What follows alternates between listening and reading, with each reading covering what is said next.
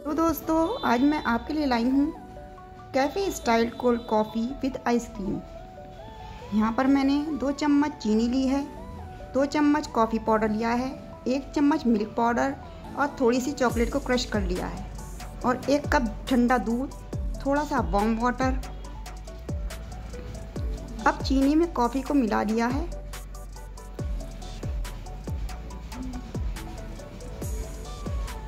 और इसको warm water से मिक्स कर लिया। और जब तक मिक्स करा, जब तक कि इसकी चीनी नहीं घुल जाए।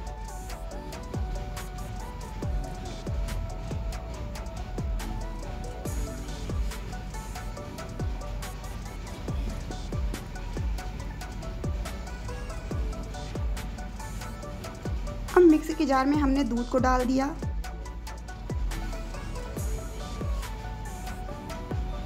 मिल्क पाउडर डाल दिया।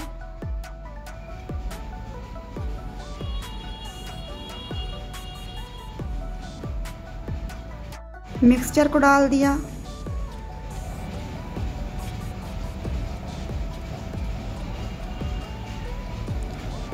और ढक्कन लगाकर इसको 10-15 मिनट ग्राइंड कर लिया।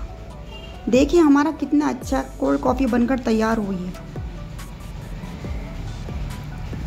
अब इसको आप अपना, अपनी मन चाही किसी भी आइसक्रीम से गार्निश कीजिए।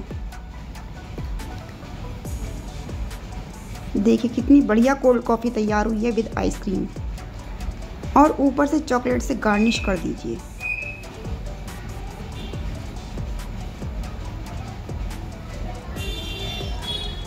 लीजिए तैयार है आपकी कोल्ड कॉफ़ी आप मेरे चैनल को सब्सक्राइब कीजिए, लाइक कीजिए और कमेंट कीजिए। और मेरे साथ ऐसे ही बने रहिए।